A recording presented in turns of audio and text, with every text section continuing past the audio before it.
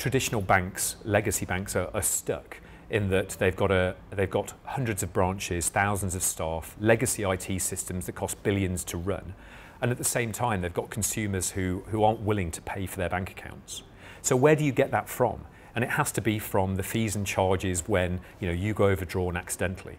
So there's this rub. You know, should a, should a big legacy bank uh, advise you and, and look after you and help you manage your finance better when actually a big slice of their revenue comes from their overdraft fees and charges? So, so modern banks, and again Mondo is, uh, is looking at, well, we're dropping punitive fees and charges. That, that just doesn't come with the whole view of, of looking after a customer and helping them with, you know, with their money. And then there's the sort of behavioral finance bit. You know, we, we're not logical, rational people. We see a number and our, our relationship with money is, is really complex. Some people are very frightened by it, some people are very fearful of it. There's a lot of anxiety about what we do and how we do it.